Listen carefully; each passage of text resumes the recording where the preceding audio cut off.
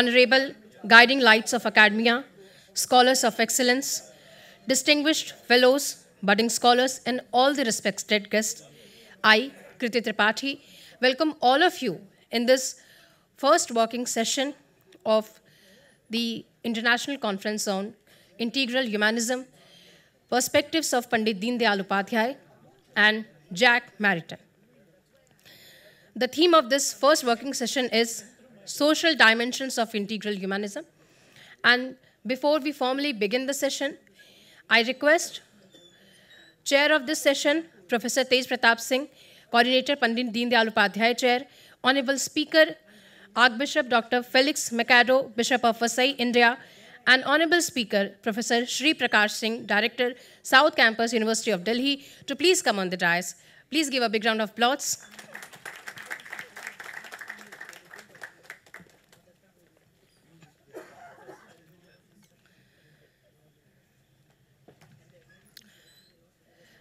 As we all know that the chair of the session is Professor Tej Pratap Singh. And when we talk about introduction of Professor Tej Pratap Singh, we know that he does not need any introduction, but we have to make the formalities. So I'll only say that when we say international relations and talk about international theory, we talk about Professor Tej Pratap Singh. He, this is the intellectual strength of the Sir. And administratively, the ability of Sir could be understood by the fact that after Sir took the position of coordinator of this Pandit Deen Dayal Upadhyay chair, he has successfully organized more than 10 to 12 lectures in a very short span of time and he has also uh, he is also organizing the conference of this stature. So give a big round of applause for chair of the session, Professor Tej Pratap Singh. One of honorable speaker of the session is Archbishop Dr. Felix Machado. Presently, he is Bishop of Vasai, India, and he had been faculty of Hofstra University, USA. He has taught Indian philosophy, systematic dogmatic theology in St. Pius College. He has also taught Christianity at KJ Somaiya Bharati Sanskrit Peetham, Mumbai. Numerous articles in various Indian and foreign journals of philosophy and theology in various languages, such as Marathi, English, French, are to his credit. Please welcome our honorable speaker. One of our honorable speaker. Uh, yes, sir. Yes, sir.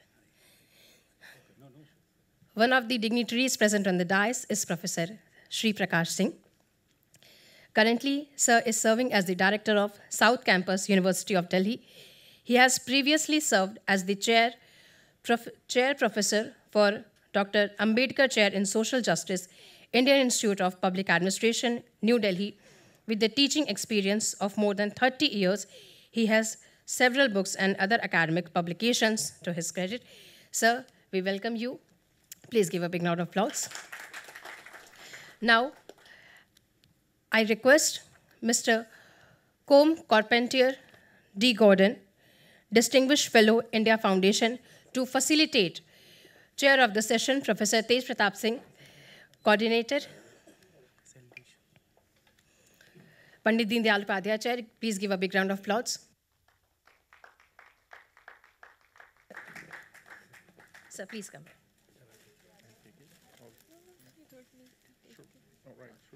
No, please. Sir. My job is Sir, please. Thank you.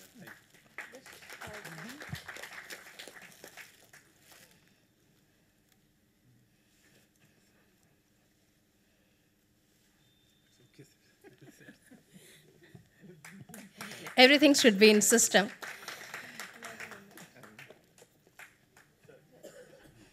Thank you so much, sir, for this. Now, I would like to invite Dr. Abhay Kumar to felicitate Archbishop Dr. Felix Machado, Bishop of Vasai. I request students to please assist, sir.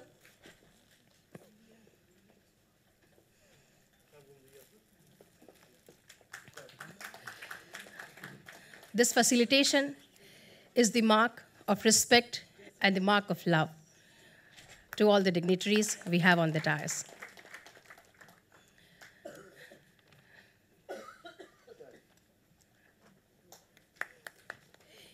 Now, moving forward, I would like to invite Professor Timothy Samuel Shah, Distinguished Research Scholar in, Research Scholar in Politics, University of Dallas. I request Professor Timothy Samuel Shah, Distinguished Scholar, Research Scholar in Politics, University of Dallas, to felicitate our Honorable Speaker, Professor Sri Prakash Singh, Director, South Campus, University of Delhi.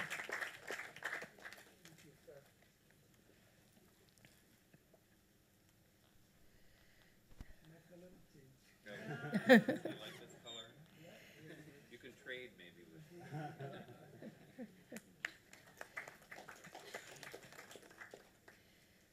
The warmth of friendship could be captured in the photographs. Thank you so much, sir.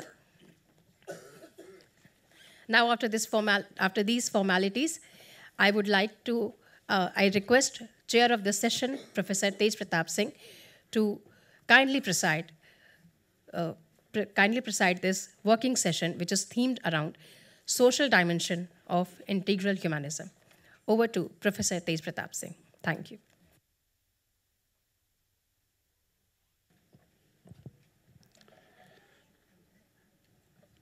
Thank you, Kriti. Respected uh, resource person on the desk, respected uh, professors, delegates, students. This is the first uh, technical session because before this all we are the plenary sessions. And this uh, session has been titled Social Dimensions of Integral Humanism. So here in this session, we'll be focusing on social aspect of integral humanism, and we will, and here again, we will take into account the ideas of Pandit Deendayal Upadhyay and Jacques Maritain. Uh, there are similarities definitely, but along with similarities, there are dissimilarities also. Here. How can you expect similarities in the views of two uh, thinkers who are the product of different social, political, economic system here. As a student, I have read that Machiavelli is the child of his age. And uh, in the same way, this uh, Jacques Maritain as well as Pandit Deendayal Upadhyay both are child of their age, their time, their place, space, everything here. So when their context is different, so how their ideas can be similar? In fact, divergences are more, convergences are very little. It's uh, we who have focused only on the convergences and we have almost ignored the divergences. So a lot of differences are there because their social, political, economic context is different. Uh, communities are there, definitely. Both are talking about the integral humanism. In fact, it was Jacques Maritain who used the first time this uh, integral humanism. So in that way, he's a predecessor of Pandit Deendayal Upadhyay ji. But then, then again, we can't question the originality of Pandit Deendayal Upadhyay ji. And I'm not uh, knowing whether uh, some critics, some commentators have said that probably Deendayal ji was aware of his uh, theory of integral humanism. But my feeling is that probably he was not knowing because uh, he sourced his uh, uh, ideas from Vedantic philosophy. And his source is St. Thomas Aquinas, Aristotle, others. And uh, in the same way, we can say that Plato talks about justice here. And the Platonic concept of justice is similar to our Varna system here. So Manu's, uh, uh, Manu's views on Varna system here.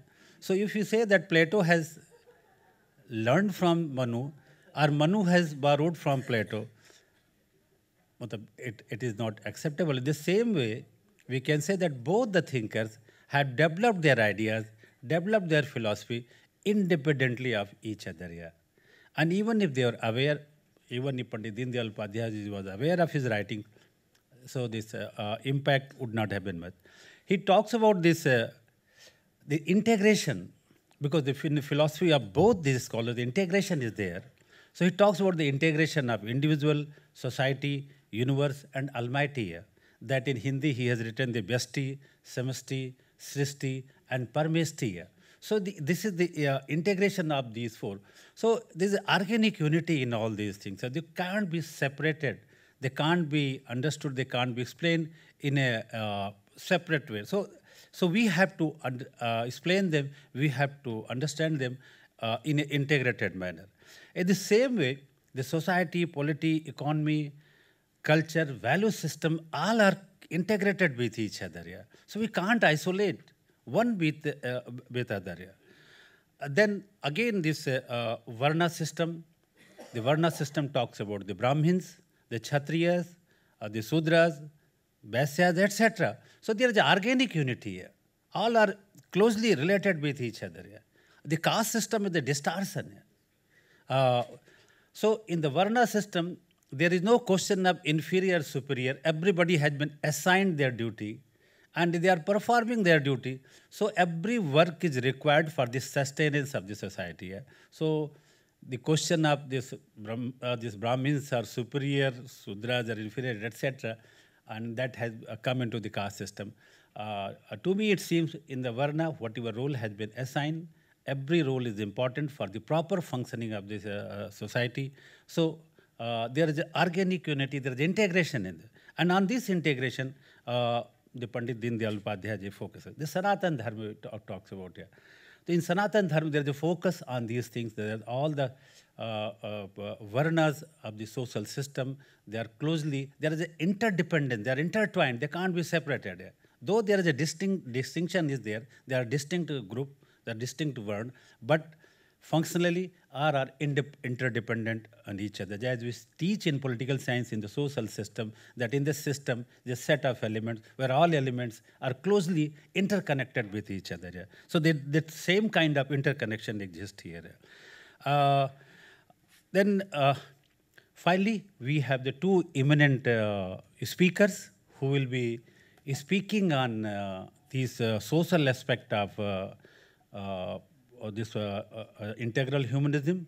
Finally, the, this, this Sarvodaya and Antyodaya, this uh, Dayal talks about the Sarvodaya and Antyodaya. So Sarvodaya and Antyodaya is the public policy here. It both Jacques Maritain and both Deen Dayal Upadhyay talk ab- they are more concerned about the poorest among the poor. Antyodaya, the people who are at the lowest level of the society. And uh, they talk about the Sarvodaya, the, im- the improvement of all, yeah. as we say that pulling out from the below poverty line. Yeah. So with this, all these, uh, we have the two very capable, eminent uh, uh, scholars. Uh, my friend uh, Sri Prakash Singh he has done his PhD on integral humanism. So I don't think there is any uh, better person to speak on Deen Dayal Upadhyaya ji than my friend Professor Sri Prakash Singh. And then we have uh, uh, uh, Archbishop Dr. Felix Machado, Bishop of Vasai, India. So he will be, I presume, focusing more on Jacques Maritain's uh, views on so, this uh, social dimensions of integral humanism. So with these two, we will have a full discussion, full presentation on the social aspect of integral humanism, one in the context of India, another probably in the context of Europe as well as India, because he's the Archbishop in India, not in Europe. yeah. So I will invite uh, uh, the uh, first speaker, Archbishop. Uh, so, sir, 20 minutes time? Yeah, so 20 minutes time to both the uh, uh, scholars so that we can have sufficient time for discussions also. So over to you, Archbishop. You can speak from there if you are comfortable or you can come over here. It's up to you.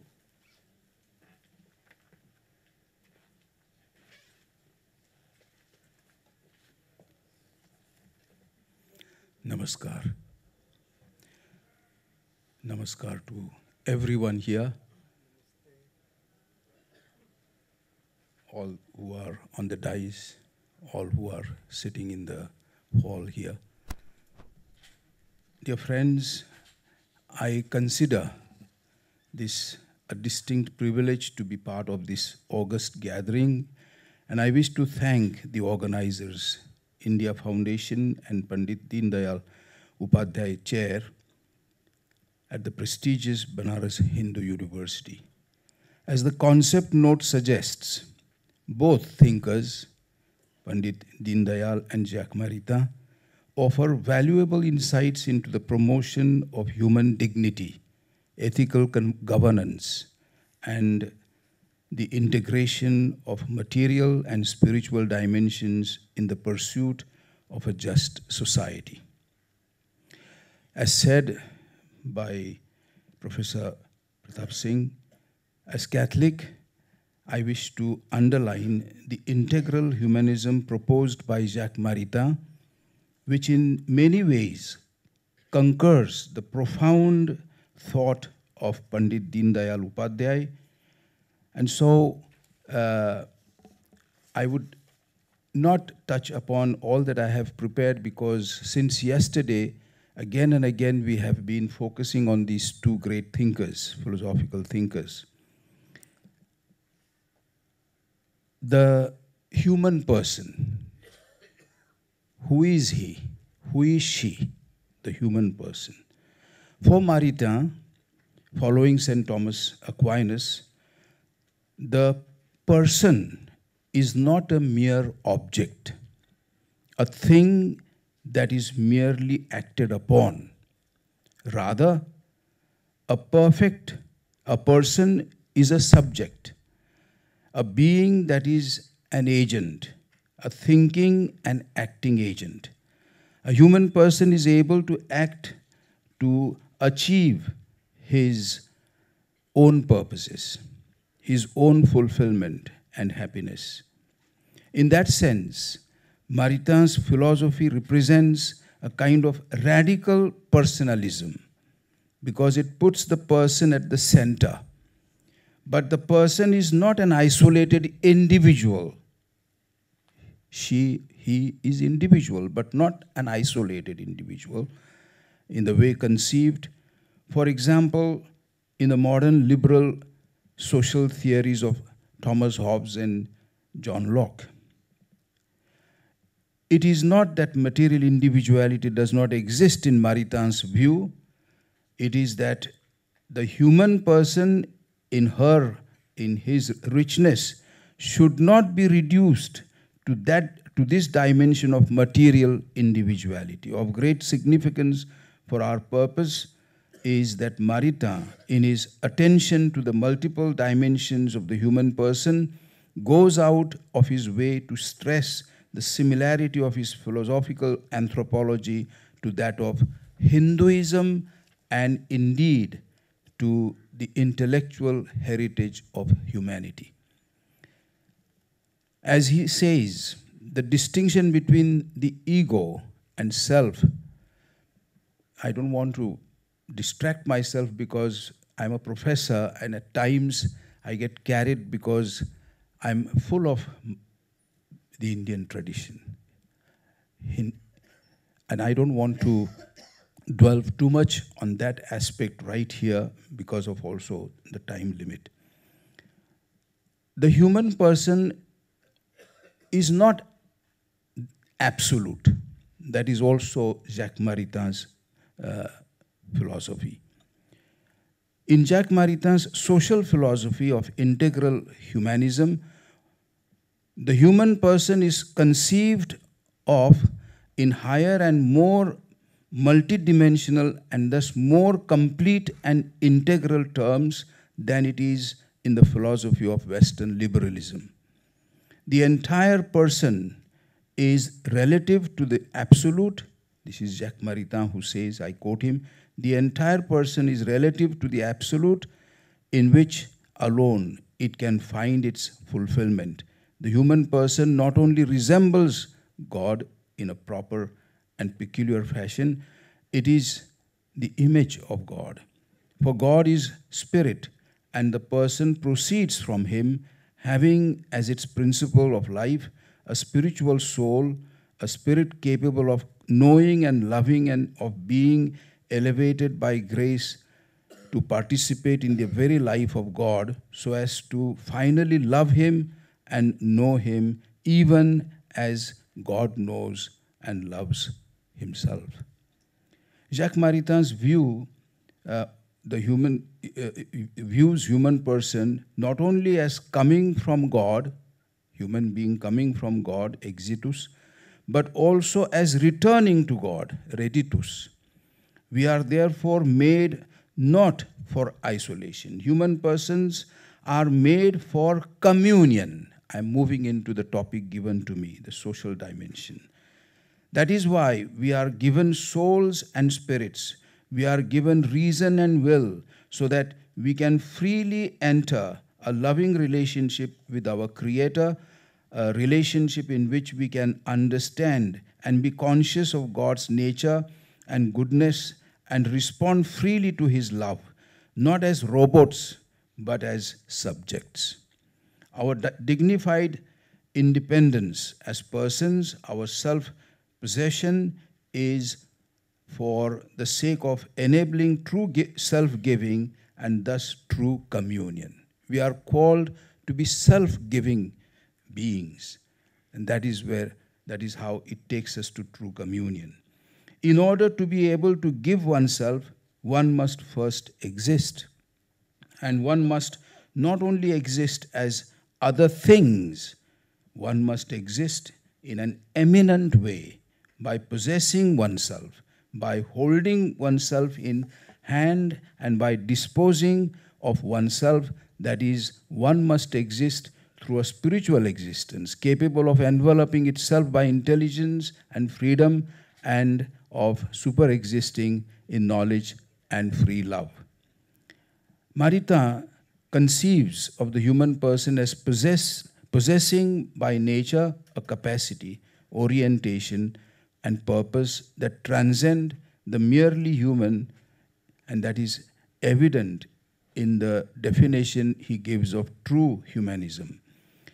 And such a definition tends essentially to make man more truly human and to manifest his original dignity by enabling her him to participate in everything which can enrich him in nature and history.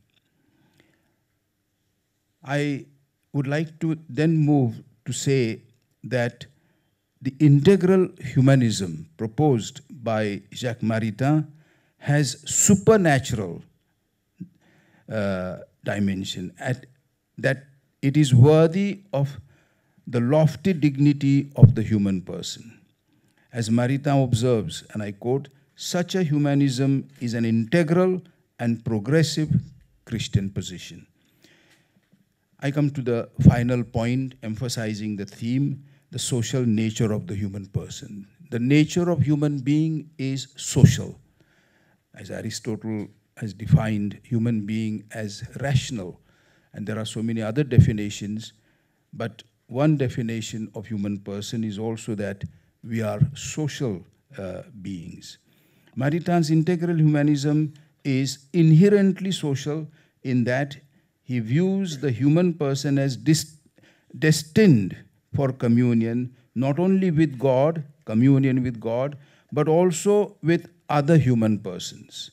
And because human persons are not merely materialistic, but spiritual creatures who also have spiritual ends or purposes and not merely material passions and in interests, they can pursue shared goods and purposes, a truly common good with other human persons.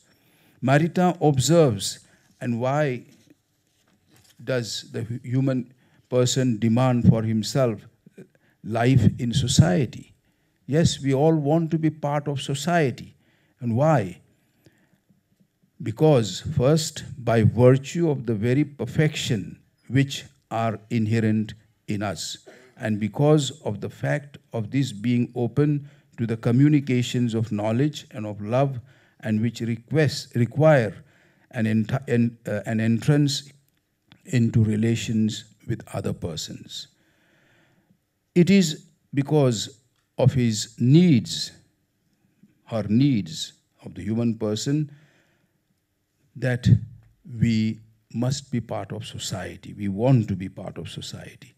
Taken in the aspect of his in- indigence, he demands to be integrated to a body of social communications without which it is impossible for him to attain to his full life and achievement. Third, in order to attain to a certain degree of elevation in knowledge and perfection of moral life, man needs the education, seeks to develop with the help of education through the teaching and the cooperation of other men and women, and because society is thus, uh, society is thus required to accomplish human dignity. Fourth, it is also important to see that Maritain's philosophy of integral humanism is nonetheless social in a way that prevents any human person from being conceived or used as a mere means or instrument of the political community. In Maritain's integral humanism, because every human person is a being with an inherent spiritual dignity and an infinite spiritual end or purpose, he or she has a nature and a purpose that transcends any finite human community, including the political community, as great and noble and important as the political community may be. No human person can be reduced to being a mere cog in the wheel of a political or economic system. As Maritain notes with great force in a characteristic passage, and I quote, it is to the perfect achievement of the person and of its super, supratemporal aspirations that society itself and its common good are subordinated as to the end of another order which transcends them. Unquote.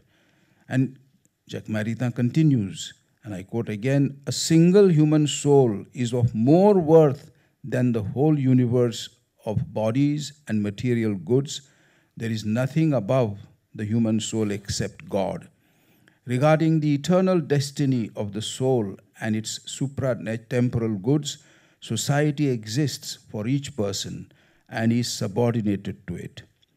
A bit later, uh, Maritain sharpens the point, deploying the idea that certain primordial rights belong to the human person as such and must never be violated.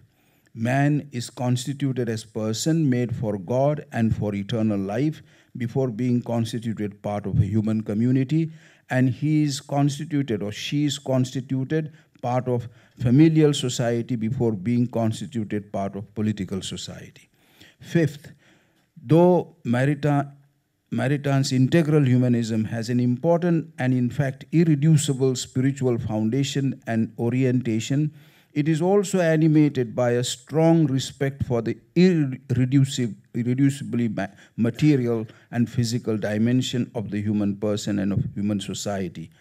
True humanism for Maritain is not a Platonic or Cartesian dualism that separates the soul from the body or mind from matter in order to uh, elevate the spiritual at the expense of the material God, who is spirit, fully and completely assumed the nature of a flesh and blood human being in the person of Jesus Christ. By assuming a fully human form, God elevated and ennobled the matter and the flesh of our human material existence.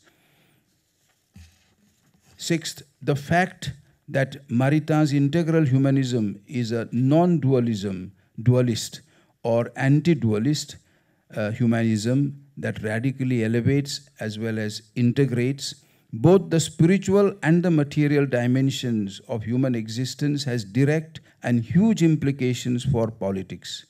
It means that no healthy politics can ignore or disrespect the spiritual dimension and the spiritual end or aspirations of the human person. But it also means that no healthy politics can ignore or disrespect the material dimension of the human person and of human society. And Maritain writes with great power and clarity about the social significance of this kind of integrated and non dualist humanity. A characteristic of the human the, of the humanism, which I call integral. This is I'm quoting Maritain. Why does he call it integral humanism? Far from being limited to the elite, it would care for it for the masses, for their right to work and to a spiritual life, and for the movement which brings them, we may say, to an historically full age. On the social significance of such a humanism, I will simply say that, in my opinion, it should assume that task of radically transforming the temporal order, a task which would tend to substitute for bourgeois civilization and for an economic system based on the fecundity of money, not a collecti- collectivistic economy, but a personalistic civilization and a personalistic economy through which would stream a temporal refraction of the truths of the gospel. Maritain continues this task is joined to a thorough awakening of the religious conscience, and I wish to insist for a moment on this point. One of the worst vices of the modern world is its dualism, the dissociation between the things of God and the things of the world. The latter, the things of the social, economic, and political life, have been abandoned to their own carnal view, a carnal law. On the other hand, modern civilization, which pays dearly to, to today for the past, seems as it were pushed by the very contradictions and fatalities suffered by it towards contrasting forms of misery and intensified materialism. To rise above these fatalities, we need an awakening of liberty and of its creative, creative forces. We need the energies of spiritual and social resurrection, of which man or woman does not become capable by the grace of the state or any party pedagogy, but by a love which fixes the center of his life, her life, infinitely above the world and temporal history. I'm coming to almost conclude now. According to Maritain, no dominant political philosophy or ideology of late modernity, whether liberal, individualism, communism, or fascism, adequately respects the rights of the human person and the full requirements of an integral humanism as he is sketched, she sketched the, this philosophy out of his work, uh, Jacques Maritain uh, philosophy and his work. Uh, the last point he makes, before I just say one word of conclusion, the only alternative is some kind of personalist democracy that is neither individualist nor materialist nor anti individualist, a kind of third way democracy that eventually emerged in one form in Latin America and Europe as Christian democracy, as it was mentioned yesterday. Discussion of the details of politics, political program, programs is beyond the scope of this paper and was always largely beyond Jacques Maritain's own concerns and interests and beyond. Uh, as conclusion, I would say to the inhuman humanism of the individual would thus succeed a new humanism, the integral humanism of the person, open to that which surpasses it and leads it to achievement, and open to the common service of justice and friendship. I will only conclude by saying very strongly that against inhuman humanism and for the sake of realizing in India and elsewhere a truly integral humanism of the person, true Catholics and true Hindus have every reason to be the strongest of allies and to work together intellectually and socially rather than against each other.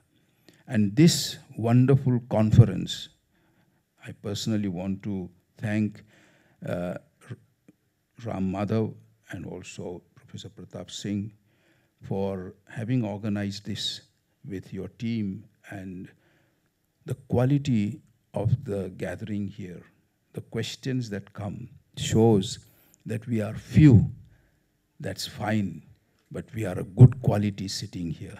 And this wonderful confer- conference represents a significant step in the, in the direction of constructive and collaborative direction. Jai Hind.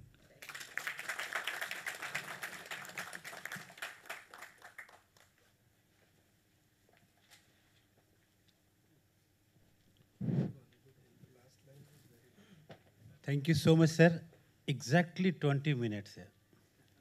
This shows the Catholic discipline here. So, the other things I will not say. Uh, yeah.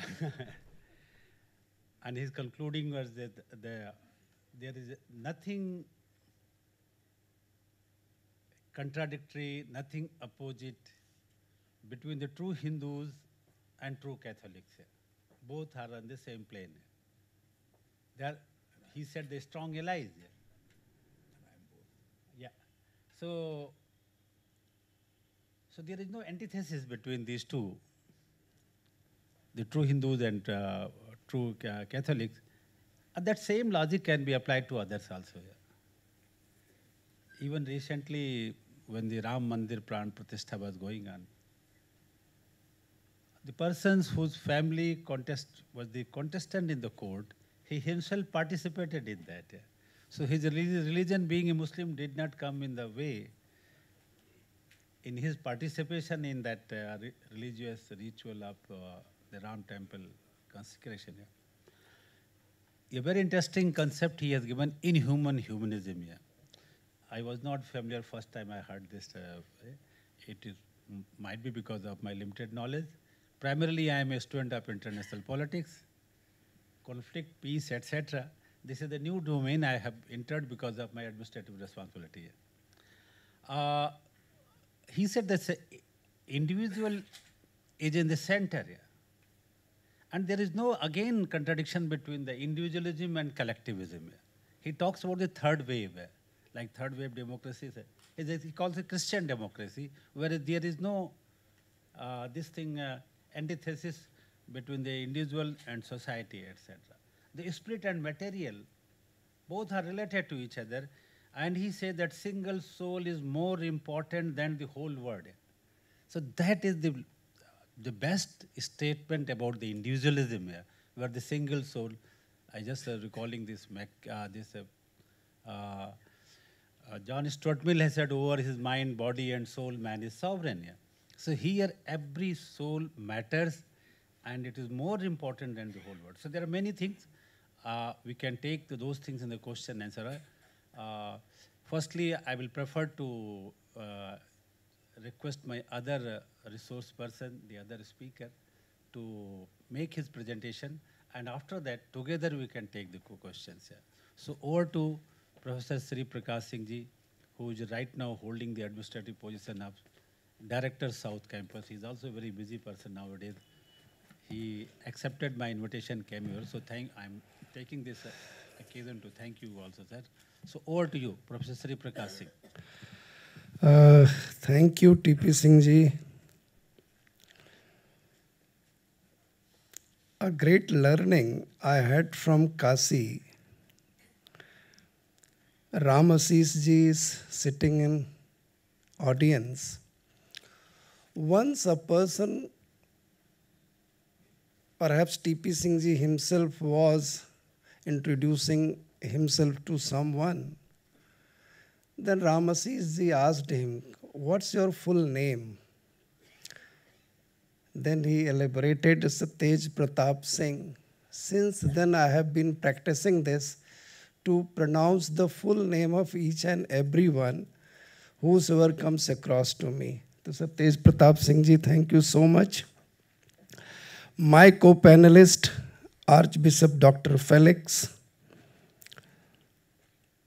Professor Chandrakala Padia ji, Professor Gopa Kumar ji, Professor Jay Prasad ji, Professor R.C. Sinha Sahab, Com Carpentier, friends from India Foundation, faculty members, and dear students. I must thank Sri Ram Madhav ji and Tej Pratap Singh ji having me here for this wonder, wonderful seminar. Why I'm saying wonderful seminar? Because majority of times we miss the theoretical perspectives. Majority of times we miss comparative perspectives. But here, whether the session of Santi Sri Pandit ji was in previous session and right now deliberation by our friend co-panelist Dr. Felix gave a new dimension to it, new dimension to the thought process associated with integral humanism. My journey begins with integral humanism in 1987 in my MPhil days. Since those days, I have been with this subject trying to know what this integral humanism is. Every time when I read those 68 pages of Pandit Deen Dayal Upadhyay, I find something else beyond our imagination. Every line of it. Once I was teaching Indian political thought in my class, a student of mine came to me and she told me that, sir, integral humanism is full of communalism.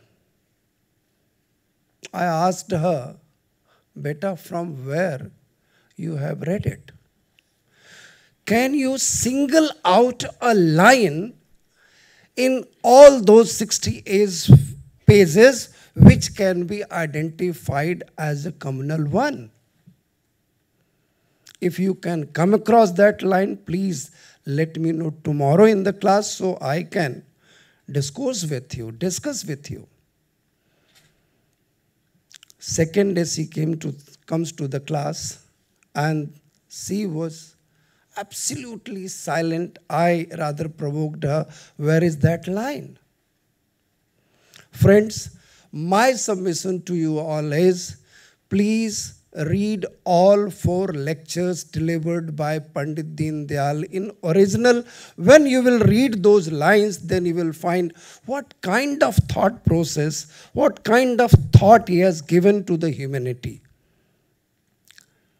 When Dr. Felix was citing many things from uh, Jacques Maritain, I was reminded a book by Maharshi Aravinda. It's a beautiful book by him on integral approach.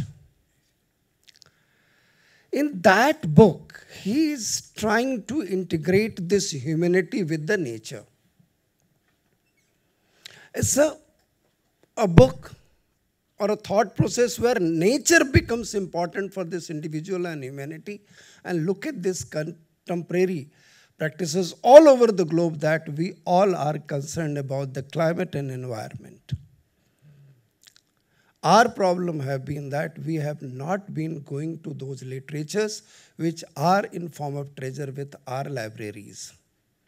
Again, I'll request all my friends, please read Arvind's integral approach that will benefit you immensely.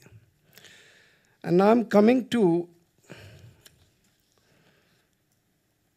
Pandit Deendayal Upadhyay. N.D. Palmer, a renowned political scientist, in a memorial lecture in United States of America in 1978. If you are interested, you can read Mahesh Mehta's book where this piece is written, and I'm quoting from N.D. Palmer. Many important leaders fade away after death. Deen Upadhyay belonged to the class of the truly great who only rise higher and higher after his death. Just think over it. How many politicians, how many leaders, those who came with certain philosophy, could survive certain onslaughts, facing lots of challenges where they are in politics, in power, in governance, but not in academics. If I go on calculating, only three things comes to my mind. This may be over exaggeration or my limited knowledge. Without into governance, without into favor, without having any academic backing, one is Ramayana, never taught, only taught through the our elders to the generations, but that is very much there. When C. Gopalachari, as first Governor General of India, was addressing first time to the nation, he said, I'm not Governor General of India, it's Ram who is governing the nation. Just you think over it without any academics, without any syllabi support, without any readings, and facing onslaughts. Even then, that survived. Another quote is Mahabharata. Again, same thing happens. If two people are arguing with each other, third person will say, Mahabharata is going on. No one knows how many slokas are there, how many pervs are there. What Adi Parv talks about, what one Parv talks about, what Santi Parv talks about. When a book from ICHR came in, India is the mother of democracy, number of eyebrows were raised. Is it right or wrong? It's overclaim. When I went to the content with that creation of ICHR, I was reminded which they have forgotten to include in it. The Santi Parva. Whether it's the Anglo-Saxon empires of Britain, Normandy Williams, their wise men council, Betan Council, Great Magnum Concilium, and Curia Regis of 5th century, 6th century, 10th century. Surprising to the academic world is the Santi Parva. In Santi Parva, you will find the whole structure of cabinet. Forget Lichvi. Forget the Sabha. Forget the Magad. I'm talking about Mahabharat. In Mahabharat, Yudhishthir is asking question to Bhishma and Bhishma is on dying bed. Even then he's telling what Raj Dharma is how you can govern, how Raj, Dharma Raj can be established, what may be the means. And there he elaborates about five varna. Brahmana, Kshatriya, Vaisya, Sudra and Suta. Such a religious literature, such a literature of statecraft, we made it confined to the treaty of war only is talking about five varna, and out of five varna, he creates a council for Yudhishthir. And that council consists of 37 individuals.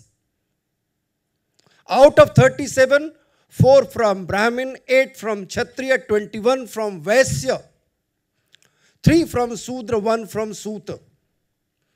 And there he talks about average age. Average age is 50 years.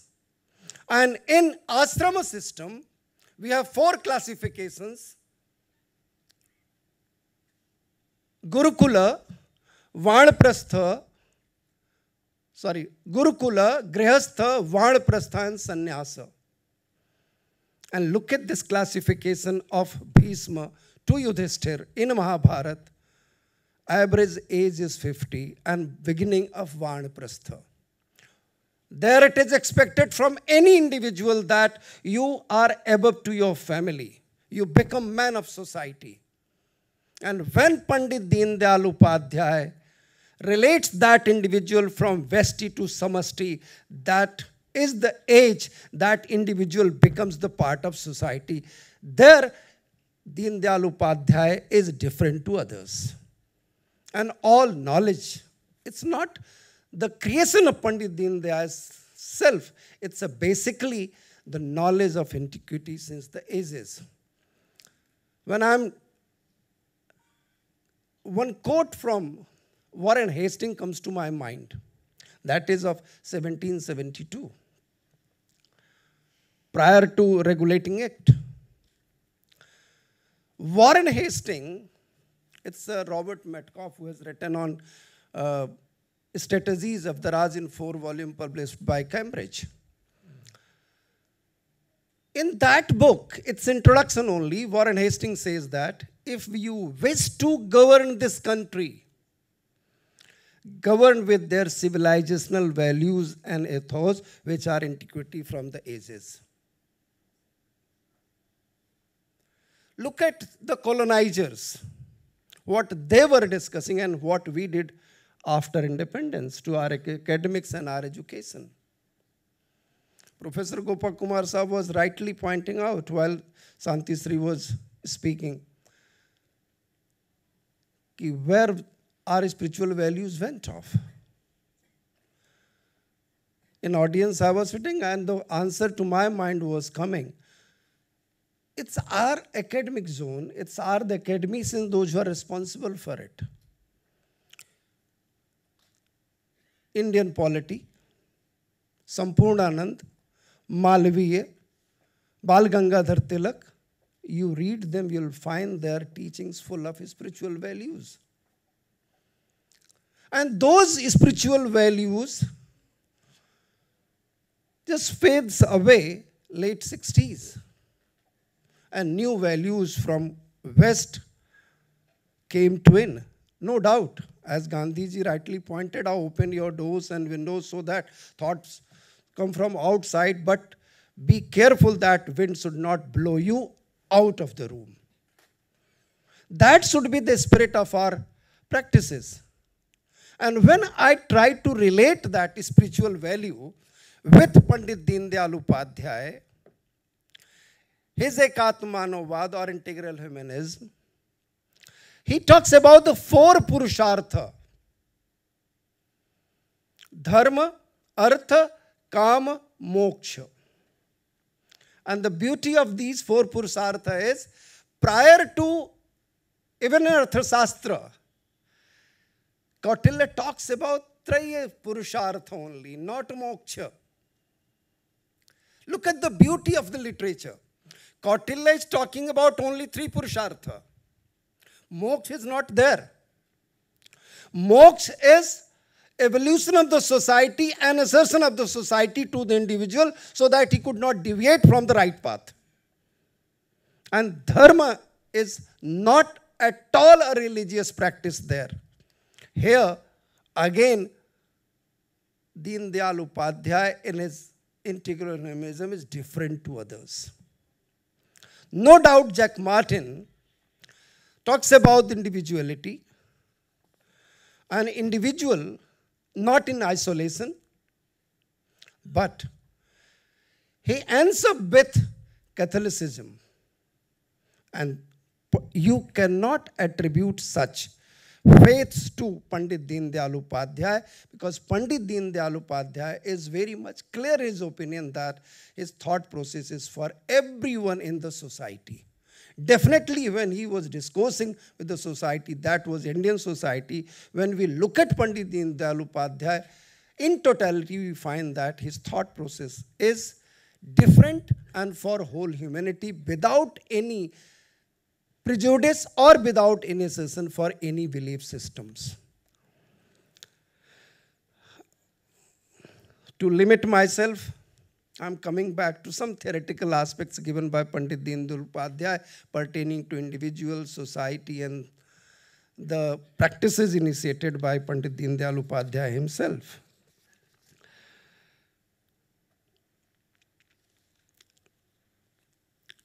सर्वे भवंत सुखिन, सर्वे संत निरामया, सर्वे भद्राण पश्यंतु माँ कश्य दुख भाग भवेत this one is the spirit of Pandit Deendayal Upadhyaya where he says may all be happy may all enjoy health may all come by prosperity let none have misfortune for his lot Integral humanism, being the apt 20th century articulation of Upanishadic vision, places before us the same type of dreams, we aim at the progress and happiness of man, the integral man.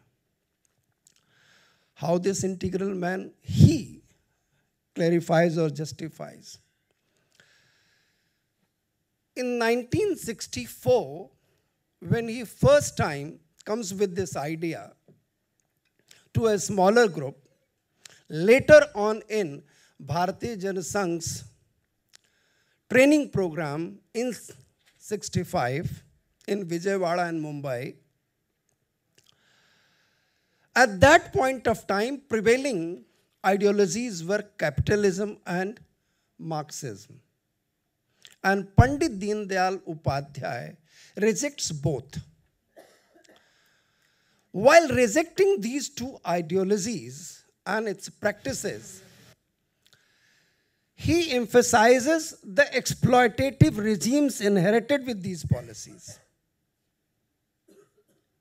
I won't justify the Indian society at that point of time, that Indian society was very good. Everything was golden in that period of time. I won't say that. I won't claim that. But there, Pandit Deendayal Upadhyay is coming with a thought process where he wished to teach the society, to train the society to change their thought process so that everyone in society is treated equally. Not by society, everyone is start treating equally. And there he says that when we look at Marxism, individual becomes a unit only. And in that unit, society comes later. In that unit, state becomes prominent. And in that state practice, dictatorship of proletariat.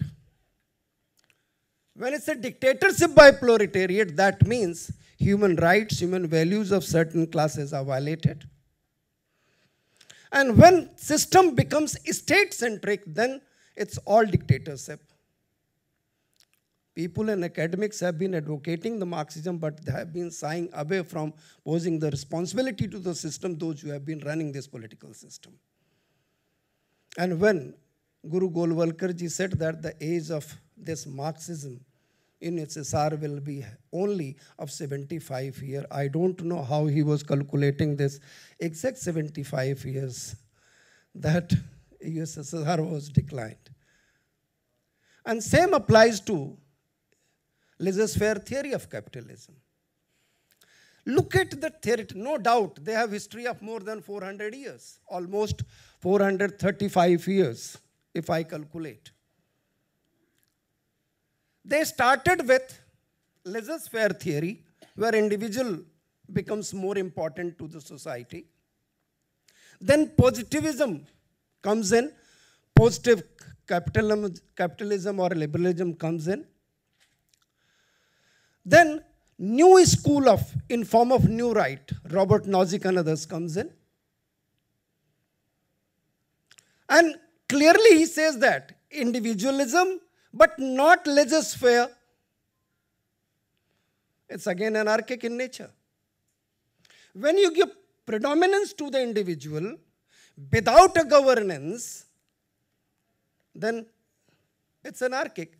And what Pandit Deendayal Upadhyay tells to the society, state should be as a guardian. It's not necessary evil. It's not necessary evil, not at all. State should act as a guardian. But to that guardian who will teach, who will govern, who will control, that is of society. And society is inclusive of all individuals, those who are connected with each other. They are not in form of unit. It's individual, then family, then groups, then society, social orders, and state, and lately society and state intertwines with each other and becomes part of each other. Majority of times in political science we are taught and we do discuss with our students also, we write also that in western world the beauty went with Greek political thought because they were clearly establishing the society and state. You read our literature, our society, and our belongingness, you will you won't find this distinction. That's why we had Arthashastra. We didn't have the politics. And in Arthashastra, friends, read carefully if you have not read yet. Don't go with the railway station's books of Chanakya Please purchase original written by P.V. Kane and others. Shamasastry.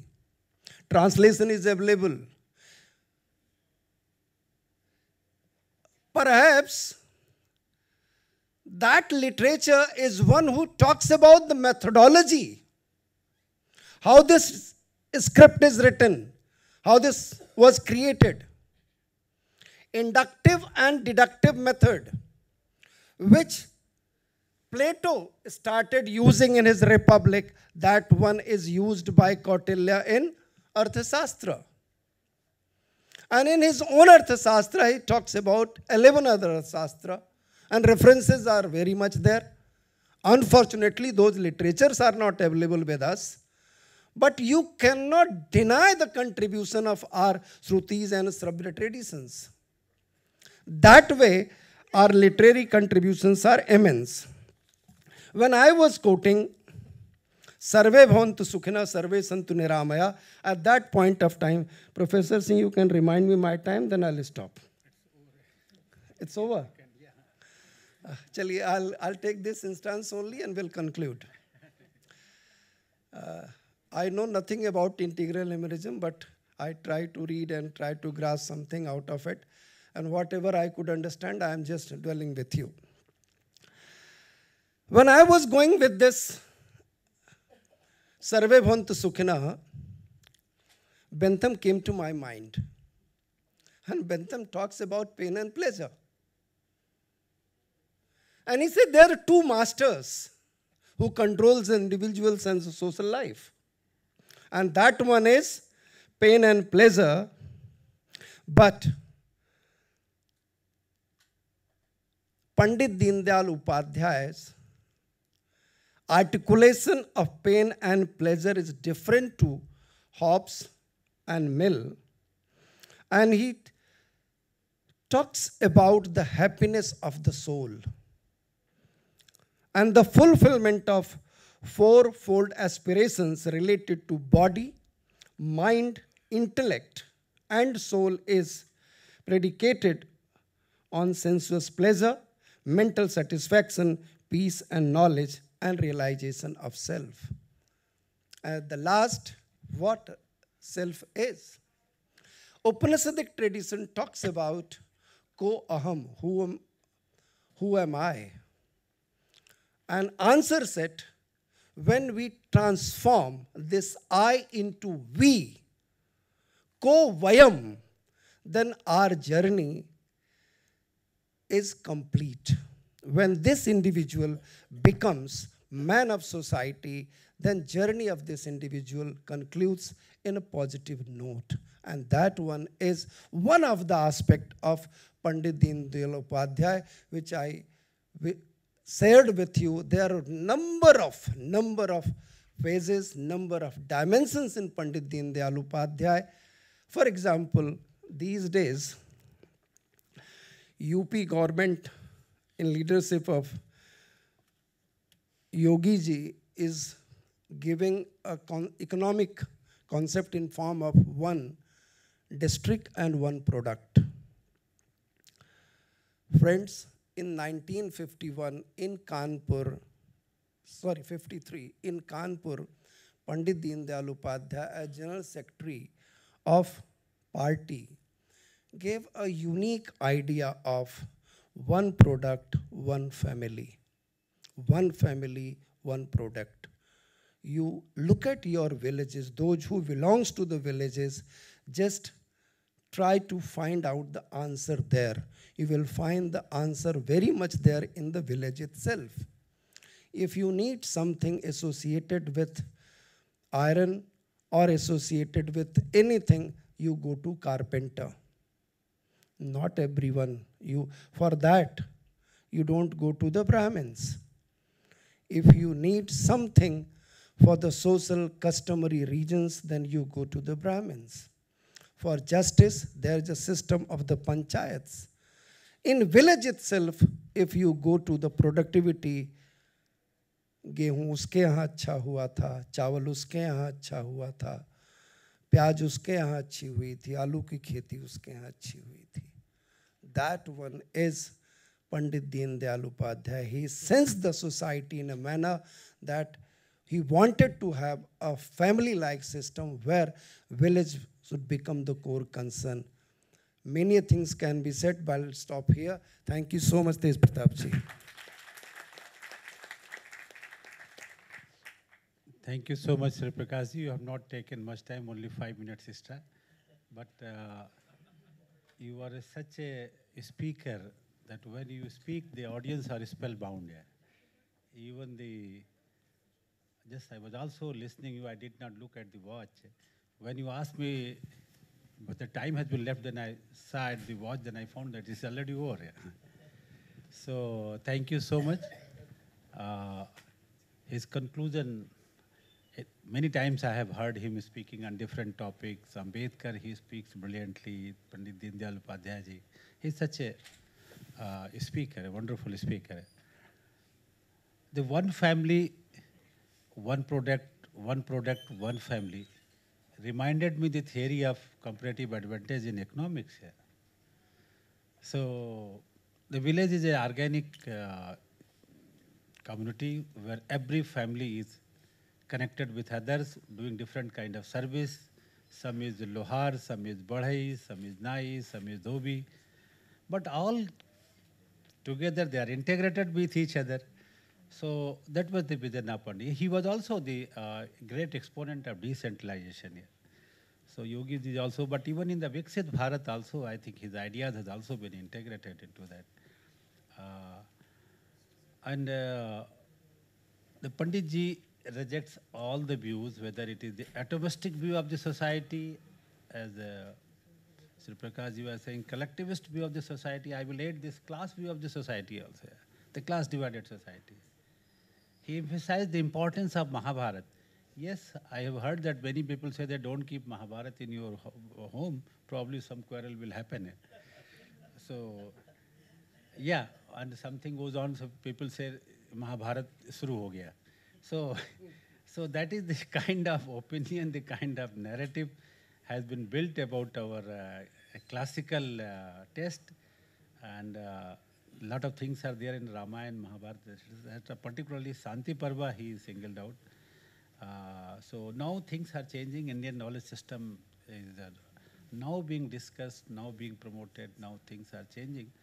So probably, and if Sri himself, Madam, uh, also many people are involved in the reframing of the curriculum, and probably the tests like Mahabharata, Ramayana, etc., which were excluded from our uh, education system. So now these are coming and going to occupy the center stage.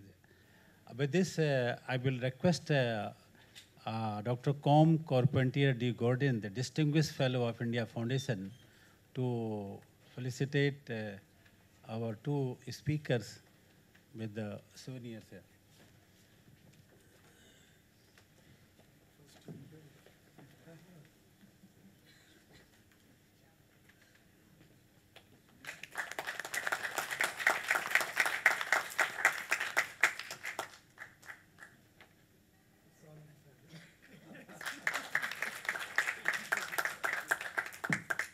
with this, with this, we are coming to an end of this session. Thank you, both the panelists. It was really a great pleasure to listen both of you, and uh, rarely we get the opportunity to chair this kind of session. So thank you to both of the panelists.